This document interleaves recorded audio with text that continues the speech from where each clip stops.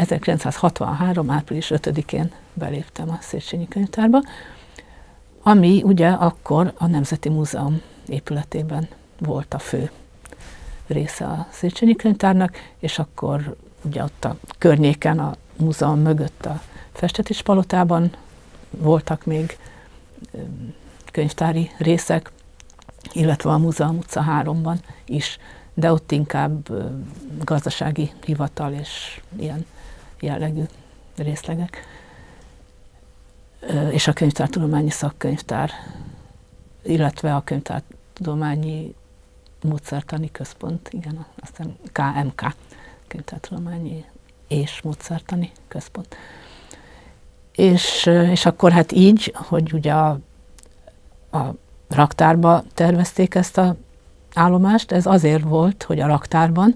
mert a könyvkötészet az viszont nem a Nemzeti Múzeum és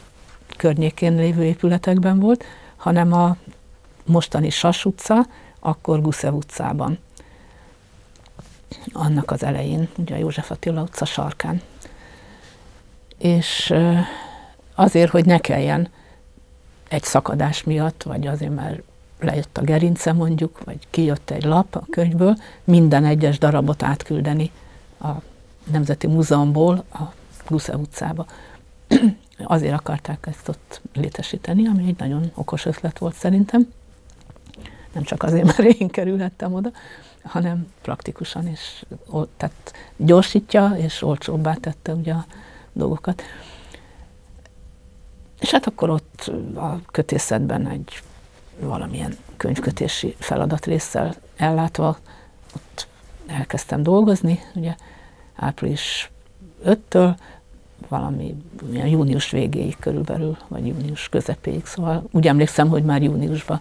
valamikor átkerülhettem oda a raktárba, és akkor ott egy, egy ablakmélyedésben, ugye jó vastag falai vannak a Nemzeti Múzeumnak, még ha kívülről ez nem is látszik, tehát nem, nem hat várszerűnek, de majdnem olyan vastag fala van, mint egy várnak, mert az ablakmélyedés az, az, az akkora volt, hogy egy nem túl keskeny asztal éppen belefért, tehát nem, nem nagyon lógott ki az ablakmélyedésből, és akkor egy ilyen ablakmélyedésbe betettek egy asztalt, és akkor ott néhány polc volt, ott két oldalt a falon, ott a eszközök, anyagok, még egy rendes lemezoló is lett, és azt is oda valahogy be szuszakolták a polcok közé, vagy elé, vagy mögé, vagy nem tudom hova, és akkor ott elkezdtem